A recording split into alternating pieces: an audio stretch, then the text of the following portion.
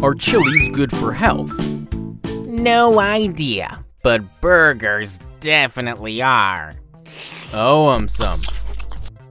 As per an Italian study, people who ate food seasoned with chili peppers four times a week had a lower risk of death as compared to people who never ate them. Hmm. Chinese researchers also concluded that eating chilies was associated with lower risk of death. Hmm.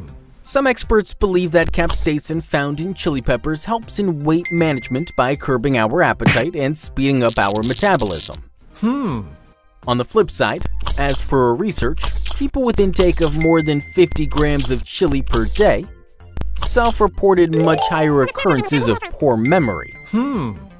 Also, experts caution us that eating a lot of chilies in a short span of time may actually prove to be detrimental to our health. Hmm.